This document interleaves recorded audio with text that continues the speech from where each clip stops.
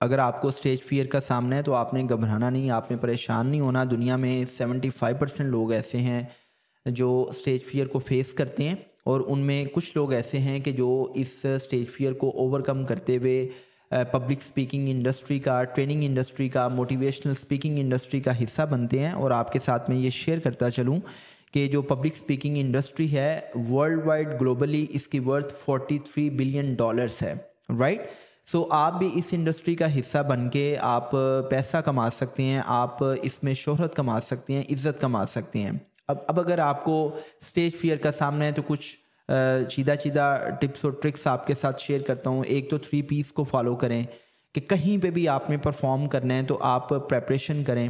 Preparation के बाद आप उसकी रिहर्सल करें, उसकी प्रैक्टिस करें और प्रैक्टिस करने के बाद आप परफॉर्म करें। अब प्रेपरेशन में आपने क्या करना है? आपने अपनी ऑडियंस के बारे में जानना है कि आपकी ऑडियंस कौन है। आ, उनकी डेमोग्राफिक्स क्या है? एज क्या है? उनका नॉलेज क्या है? प्रायर नॉलेज क्या है? आ, उनकी क्या एक्सपेक्टेशंस हैं? उनकी नीड्स क्या हैं? उनके इंटरेस्ट क्या हैं? प्रेपरेशन के बाद आप अपनी टॉक को डिज़ाइन करें टेलर करें और आप वहाँ पे जाके डिलीवर करें। जब आप डिलीवर करने जाएँगे आपकी बॉडी लैंग्वेज बड़ी पावरफुल होनी चाहिए।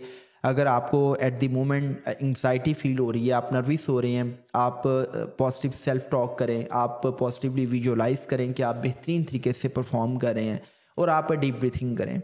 जब आप स्टेज पर आएँ अच्छे से अपनी ऑडियंस को ग्रीट करें और uh, इस तरह अगर आपने स्पेल बाउंड टॉक करनी है तो उसके लिए आप थ्री सीज पे थ्री सीज को फॉलो करें और थ्री सीज में first C stand for confidence की कोई भी बात करनी है तो पूरे यकीन के साथ करें। Second C stand for clear कि जो आप बात कर रहे हैं, आपको भी उसके बारे में क्लैरिटी हो, और वही क्लैरिटी आप अपनी ऑडियंस के साथ कम्युनिकेट करें। And the last C stand for control कि आपको अपनी नर्व्स पे, अपने इमोशंस पे कंट्रोल हो।